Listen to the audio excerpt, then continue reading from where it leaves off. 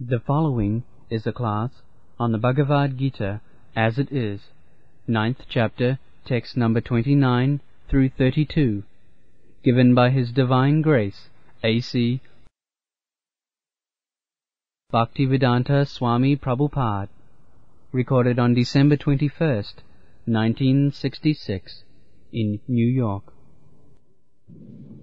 Samoham sarvabhuteshu न मे देशस्य न प्रिया ये भजन्ति तु माँ भक्त्या मयि ते तेषु चापहम् The Lord says that I am, although I am equal to everyone, the God is nobody's enemy and nobody's special friend. Oh. Just like the king, the government. Nobody's enemy, nobody's friend.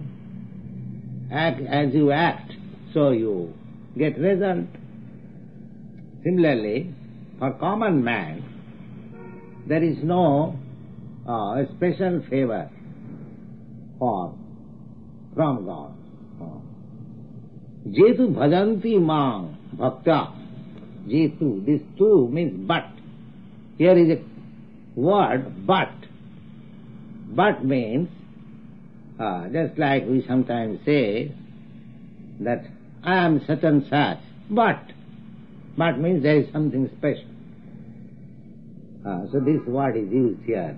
Tu, tu means but. What is that but? Jetu bhajanti mang pritta. Anyone who is engaged in devotional service of me. Uh, so for him I have got special attention. Jetu mang vijetu bhajanti, je bhajanti tu mang bhaktya, mai te tesu chapi aham. As he is always constantly engaged in my service, similarly I am also engaged always in his service. The Lord says.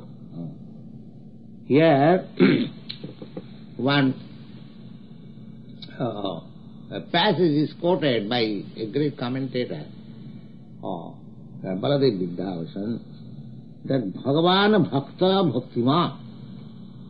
Uh, just like we become devoted, similarly God also become devoted to us. Uh, don't think that one-sided devotion. No. Just like love is never one-sided. Ah, love is reciprocation. Reciprocation. Similarly, although God is great, ah, he becomes a devotee of the uh, devotee. Ah. He takes pleasure in that way. It is clearly stated that I also uh, try to uh, devote myself for his service. As we take pleasure in serving God, similarly, God also takes pleasure by serving the devotee. That is reciprocal. now this sloka we have already discussed last year. Next sloka is अपि सुदुराचार भजते माम अनन्न भाव साधुरेव समन्तव्य सम्मक भविष्यत ही सा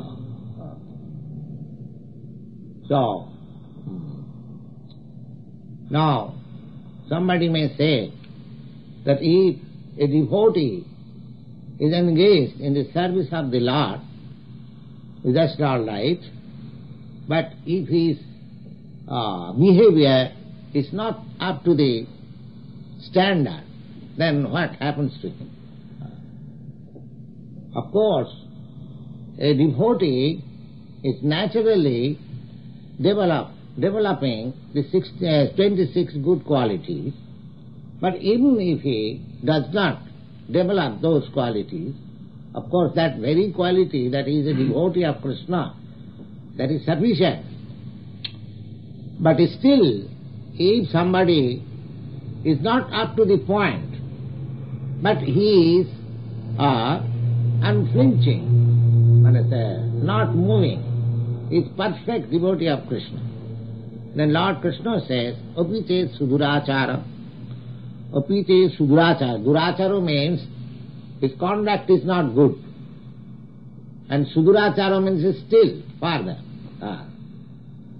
So, apite sudurachara, bhajati mam anannabhak. Anannabhak means without deviating his attention to any other demigod or any other business, if one is simply 10% engaged in my service, but his character, his mm, general activities are not so to the point, still uh, the Lord says, sadhureva samantapa.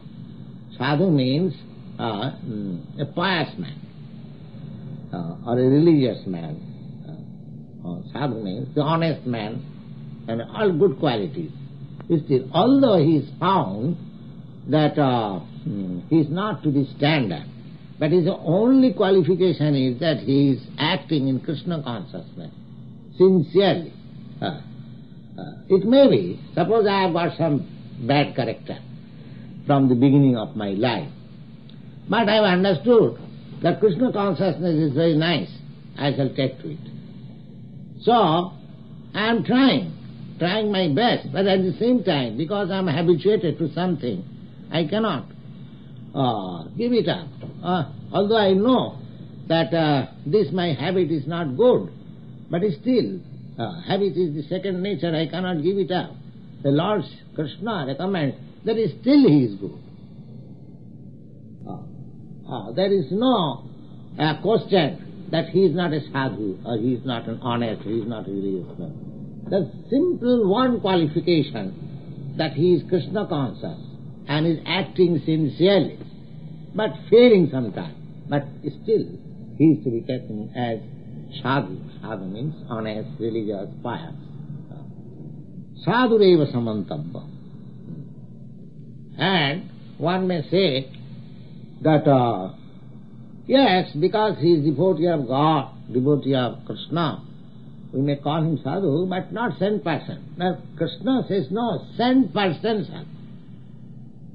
In spite of his that bad character. Sent person sadhu. So this is the recommendation. Uh, why, why is Krishna stressing on this point? That whatever he may be, still he is honest, he is sadhu, he is religious, he is pious. Why? Ah, that is to be understood in the next. so this Sudrachara, Sudrachara means that uh, according to time, according to circumstances, according to uh, so many there are influences, just like uh, I have come to your country, uh, so, far uh, rigid regulation and rules are concerned, uh, and in the beginning, of course, we do not find such opportunities to strictly follow. But still, we should not uh, give so much attention for the uh, regulation or uh, strict rules and regulations, but we must see how much a person is advancing Krishna consciousness. That we have to see. Uh, and if we go on criticizing everyone, oh, you are not doing this, you are not doing this, you are doing this, so many things, uh, according to uh, uh, the Vedic culture, there may be so many things. But we are not concerned. As far as possible, people should be given chance uh, to develop Krishna consciousness.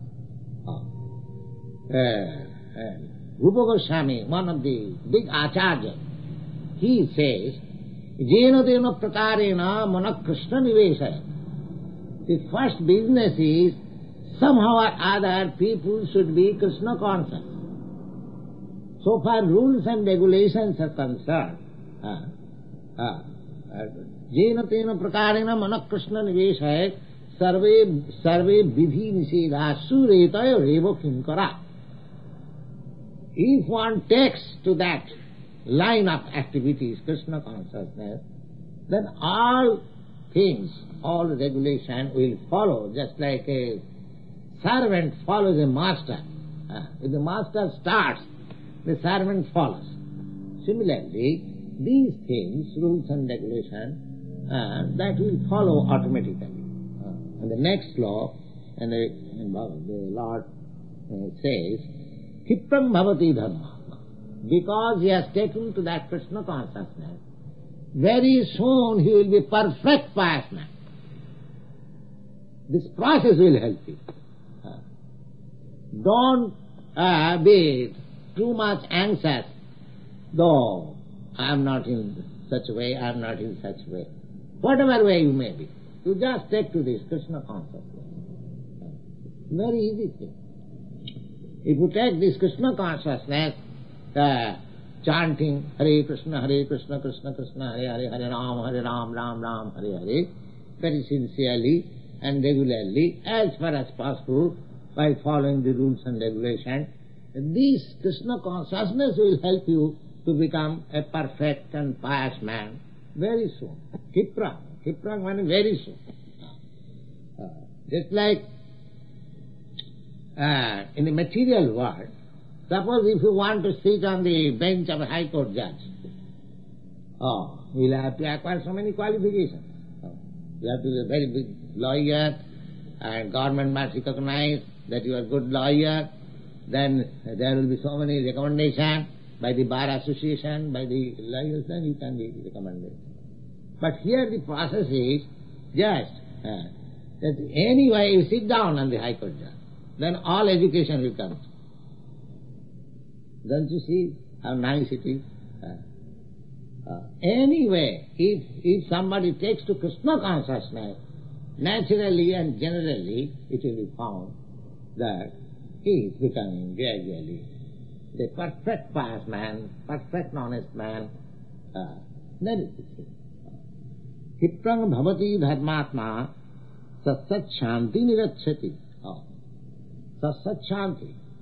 Because he will relish, he will relish this Krishna consciousness so nicely that he will give up all nonsense automatically. You don't like it. Don't like it.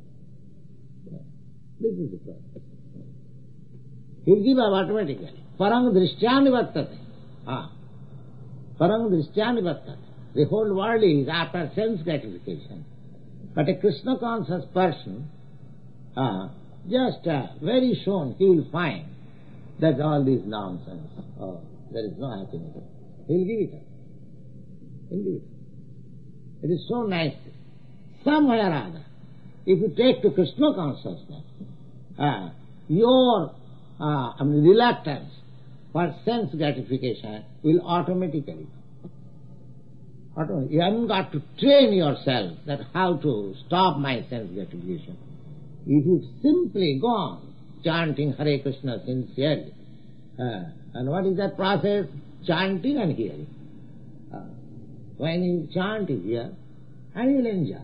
And you'll enjoy so nicely that you'll give up all that is not wanted in the advancement of the spiritual life. Uh, Kipra, this is recommendation by Krishna himself. Uh, not that I am advertising because I am preaching as Krishna consciousness. Therefore I am advertising. The candidate may take it. But Krishna himself says, Kipram bhavati dharmatma satsat shanti nigachati. Shanti means he, uh, very soon, he attains that perfect eternal happiness. perfect peaceful uh, life eternal life, blissful life. He very soon attains. And why? Kaunteya pratijani. Ah, pratijani. My dear Arjuna, you can declare this to the world. You declare. Why Krishna is not declaring? Krishna is declaring to his devotee.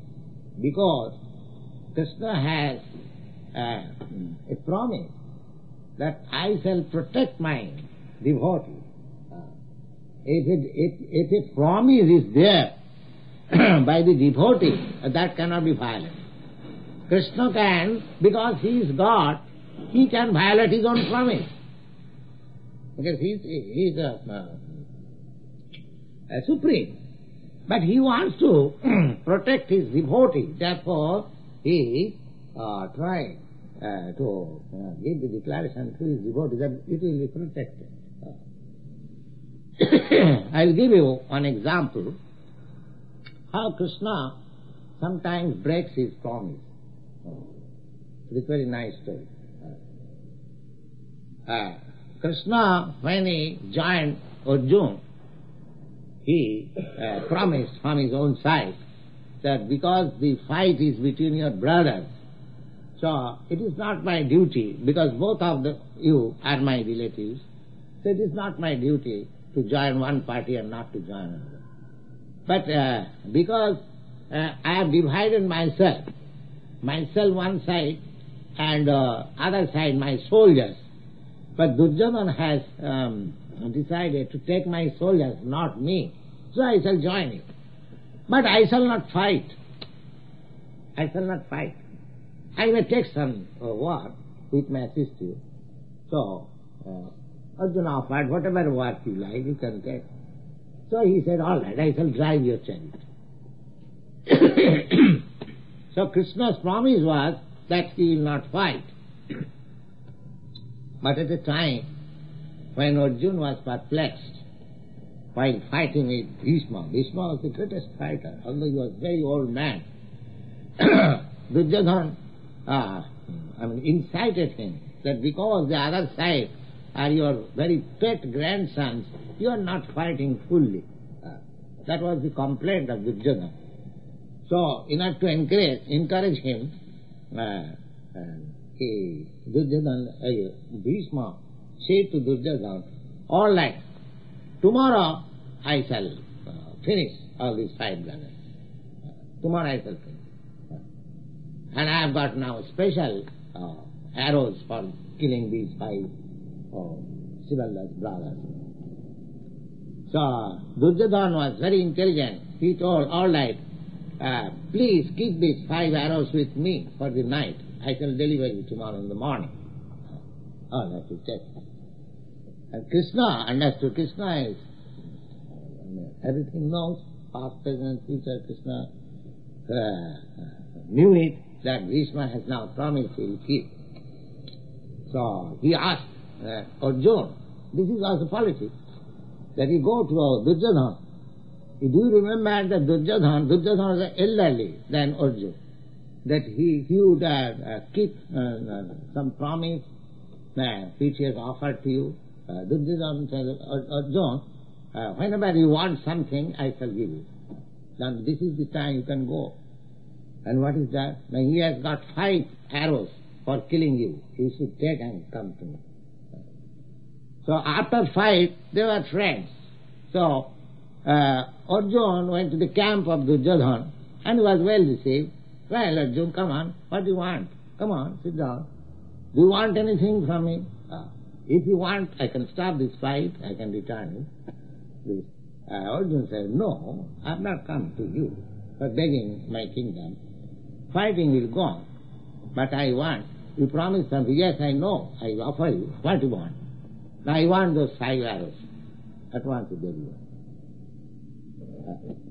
And, and this information was carried to, uh, I mean to say, Bhishma. Uh, Bhishma knew that Krishna is very cunning also. He will save his devotee. Uh, so he has done this. All right. In spite of Krishna, uh, he has broken my promise. And tomorrow I shall see, if Krishna does not break his promise, then his friend will be killed. I will fight in such a way. So, you are fighting in such a way that Arjuna become almost uh, dead. Then at that time, Krishna, uh, the, the chariot was torn into pieces, and Krishna, Arjuna fell down. And then Krishna took up one of the wheel of the chariot and uh, came before. Now, Krishna, you stop this fighting, otherwise I will kill. Krishna at once uh, gave us his arrow and all right, kill me. the thing is that uh, because Bhishma promised that I shall uh, kill Arjuna tomorrow, and uh, Krishna also promised not to fight, just to save these two devotees, uh, Arjuna and Bhishma. Bhishma was also a great devotee. Just to show him that I am breaking my promise. Please stop.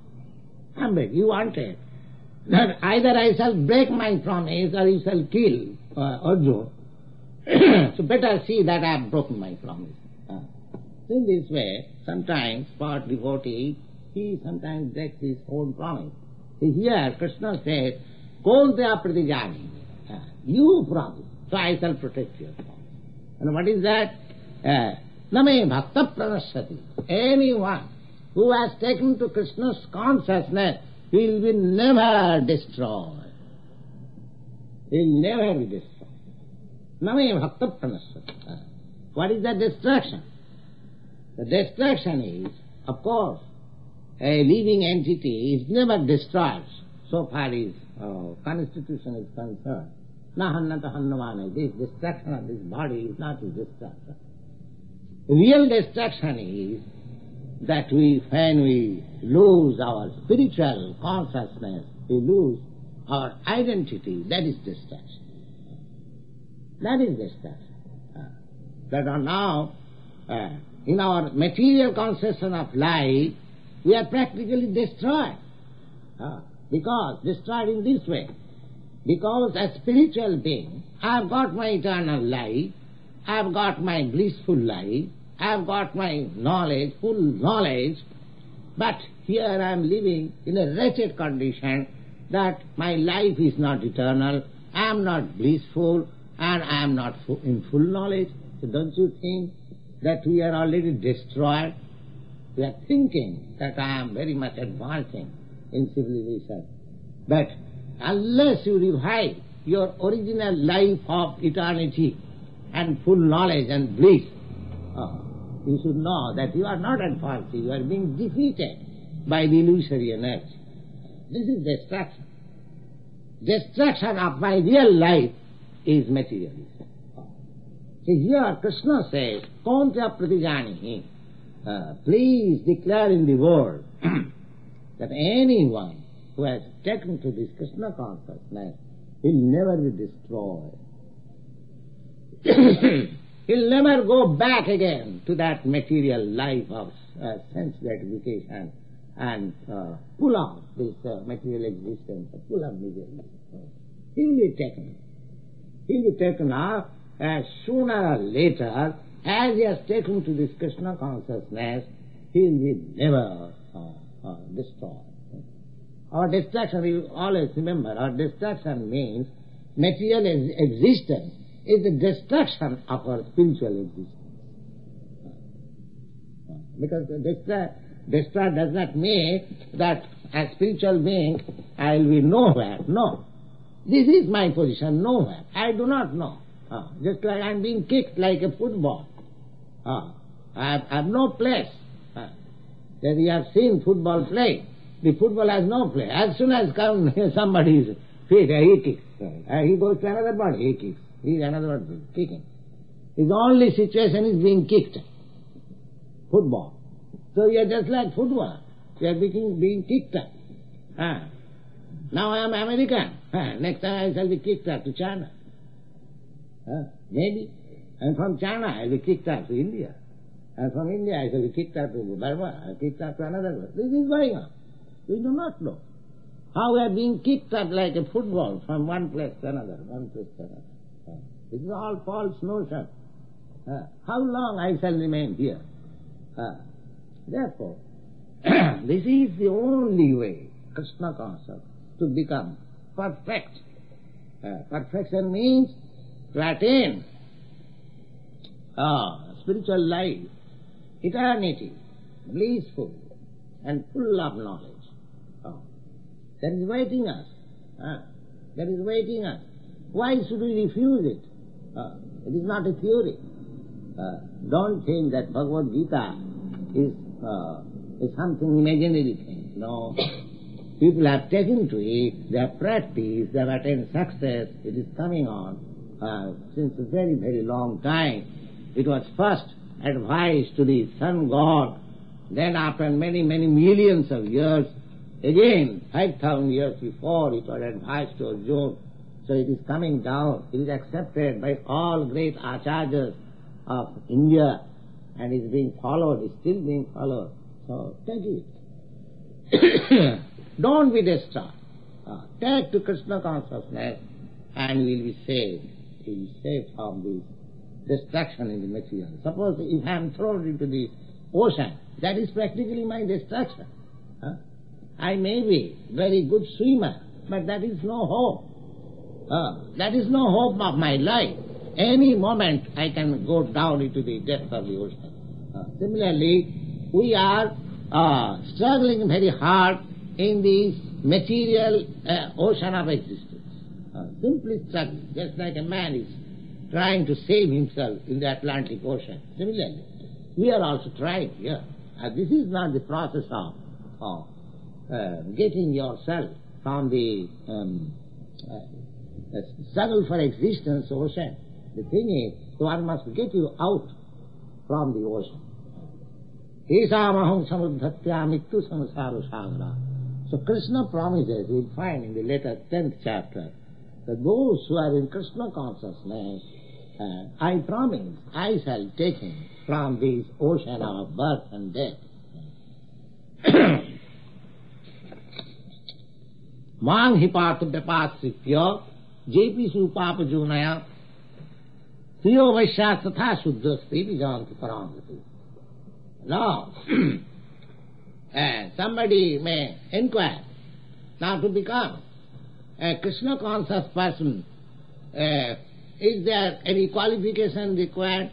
Uh, Bhagavad Gita was spoken by Lord Krishna. He was, um, he appeared to be a Hindu, and it was spoken in India, and uh, all the acharyas, they're very learned men, they have adopted. And how we can take to this Krishna consciousness? Uh, I am not, uh, I do not belong to uh, such particular creed or such particular country. Uh, no, Krishna says no. That is not disqualification. Mang hi pata vyapasita jeevisu papajuna. Papajunaya, of course, according to Vedic literature, there are uh, hmm, mentions of, uh, Papajuni. Joni means species. Papajuni. Uh, just like it is mentioned here. Striya, Sudra, Striya, Vaishya, Satha, Sudra, Stipi Janti Paragati. Uh, even uh, the Striya, even women, uh, they are also uh, classified among the Papajuni. Papajuni means those who have got uh, uh, little uh, facility for advancing themselves with spiritual life. Uh, so, it is particularly mentioned here, Striya, the woman class, Sudra. Uh, Sudra means the uh, laborer class and uh, uh, the Vaishya, mercantile class. Uh, or less than that. Uh, because in India, according to the caste system or Varnashram Dharma, the Brahmin and Kshatriyas are considered to be the highest in the society. And uh, the Vaishya, a little less than that, and Sudra, they are not taken into account. Uh, uh, and the, similarly, woman class, they are taken as Sudra. Sudra, just like the thread ceremony is given to the Brahman, Kshatri, Vaishya, but there is no thread ceremony for the woman class. Uh, although the woman is born in the Brahmin family, she has no that reformation. Uh, because uh, uh, Striya, the woman class, has taken less intelligent, they should be given protection, uh, but uh, uh, they cannot be elevated. But here in the Bhagavad Gita, he surpasses all these uh, formalities. Lord Krishna surpasses all these formalities. He is giving facility to everyone. Never mind what is. Uh, in the social structure, you may consider that woman is less intelligent or Sudra and, and less purified. But in spiritual consciousness, there is no such bar. Here Krishna accepts everyone. Either you become woman or you are Sudra or a Vaishya or whatever you may that doesn't matter. If you simply take to Krishna consciousness, the Lord is there, He will give you all protection. All protection and gradually He will help you. Uh, you are already one who is in the Krishna consciousness platform is already in the liberated platform. Simply Kipram. It will, it will take some time only, Kipram, but very soon he will be all right. So this is the proposal of Lord Krishna. Uh, this is the facility of Krishna consciousness. So we should take this advantage of being Krishna conscious, never mind what we are, and that will help us in attaining the perfection of life. Mahi partha vipasit jeepi supapajana. This is very clearly declared here. Never mind what he, he is or she is. Just take to this process of Krishna consciousness and your progress and advances of spiritual life is guaranteed. Thank you.